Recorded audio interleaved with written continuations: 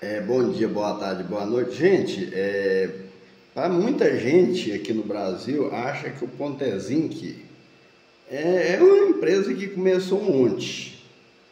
Mas engana-se, tá, gente? Nos Estados Unidos, na Europa, eles já, já, já dão as caras há muito tempo. Esse aqui é o Pontezinc Dreamer, Dreamer Pro.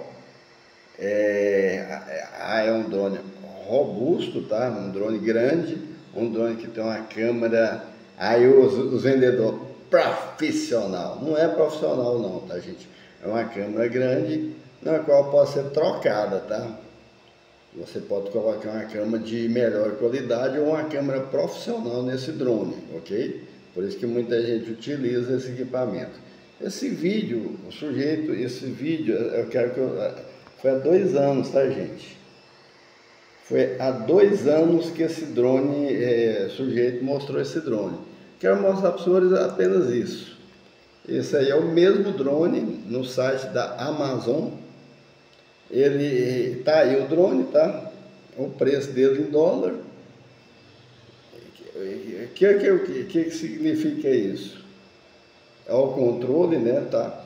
Significa o seguinte, gente, que a Pontezinc, né? Que nem umas certas marcas que a gente marca conhecida por aí, que fica lançando drone um atrás do outro, que fica é, é, é, mascarando o mesmo produto, né, com outro nome diferente, né? A Pontezinho que ela, é, ela é muito fiel, né? Ela sempre vai modernizando o drone que tem. Você vê esse drone, mais de dois anos está em, em linha, está sendo fabricado, né?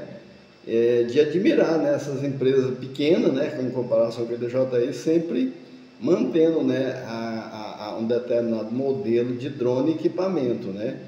Umas e outras aí pequenas também, elas ficam lançando drone de seis em seis meses. Aí o sujeito fica sem bateria, sem peça, sem nada, né? Mas isso é só informativo, tá, gente? Tchau, obrigado, gente. Até o próximo vídeo.